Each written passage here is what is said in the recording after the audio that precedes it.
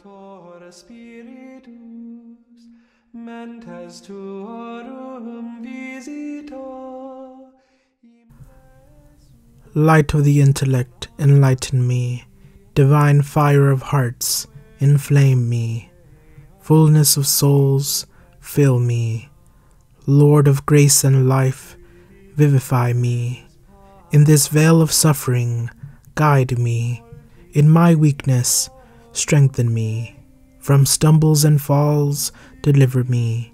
With thy divine gifts, overwhelm me.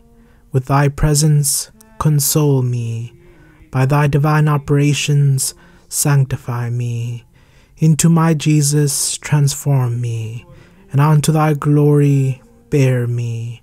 That having been faithful upon earth, I may be eternally happy in heaven, in the perfect reverberation of thy love. Amen.